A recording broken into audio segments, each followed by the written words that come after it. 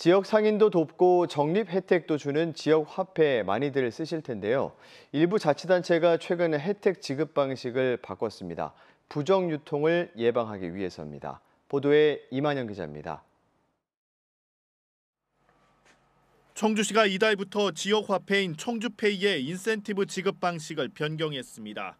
사용액 충전과 동시에 인센티브를 지급했던 선불형에서 카드를 쓴 뒤 결제 금액에 따라 인센티브를 주는 후불형으로 전환했습니다.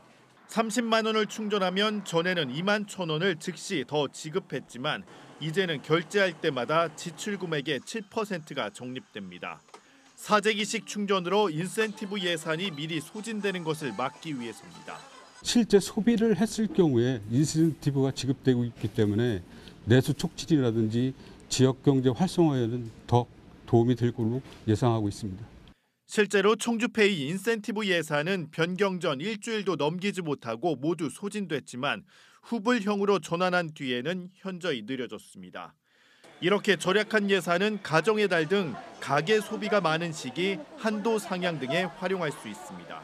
명절이라든가 소비가 집중되는 시기에 할인율이라든가 할인 한도를 확대를 해서 좀 가계의 부담을 경감시키는 행정안전부도 지역화폐 부정 사용 등을 막기 위해 후불형 전환을 권하고 있지만 충북은 여전히 선불형 방식이 더 많습니다.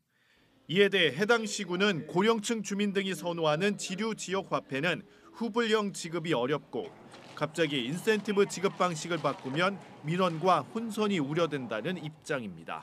KBS 뉴스 이만용입니다.